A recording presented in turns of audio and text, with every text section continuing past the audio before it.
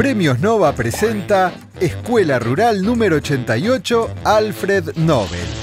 Dicen que en Canelones hay una escuela que siempre destaca en los clubes de ciencia, que llegó a mostrar sus investigaciones en España y hasta fue reconocida por la NASA. El secreto está en que en la escuela Alfred Nobel cada clase lleva a cabo proyectos de todo tipo, con especial énfasis en las ciencias.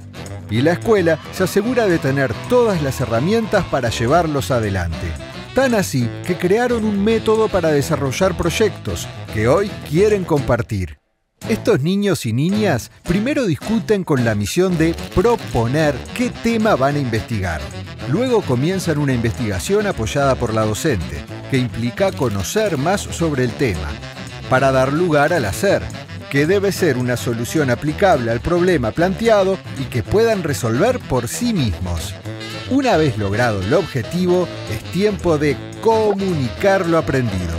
Y por último, y no menos importante, evaluar el proceso y los logros conseguidos.